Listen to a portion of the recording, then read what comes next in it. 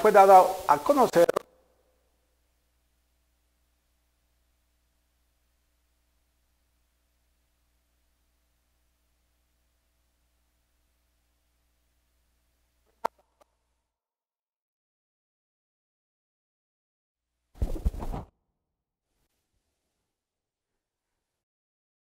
caso de maltrato y crueldad animal fue dado a conocer en Oaxaca, ahora a manos de elementos de la Policía Municipal de Ocotlán de Morelos, localidad de los Valles Centrales a quienes se acusa de atropellar a un perrito. La denuncia se dio a conocer este martes a través de un video difundido en las redes sociales, donde se observa a los uniformados arrollar al canino en calles de dicho municipio.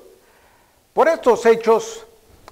la Fiscalía General del Estado de Oaxaca notificó el, inicio de la carpeta de investigación 3382 diagonal 2023 por el delito de maltrato animal y crueldad animal contra los policías implicados.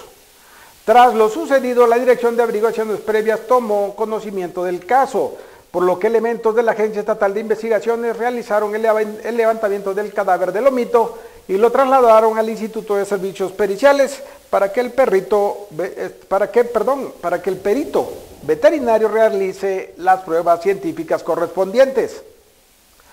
Este es el tercer caso de, crueldad animal que se registra en la entidad, solo en lo que va de septiembre. En, los en tres denuncias la víctima fue un perrito que perdió la vida como consecuencia de maltrato. Y en lo que va de este año, la Fiscalía de Oaxaca tiene registro de 14 casos de privación de la vida como consecuencia de maltrato animal, así como 108 carpetas de investigación por el delito de crueldad animal y agonía. Ante ello, mediante un comunicado, la instancia de Procuración de Justicia hizo un llamado a la población a respetar la vida animal, principalmente a las y los servidores públicos encargados de la seguridad, pues son ellos quienes tienen el deber de hacer cumplir la ley.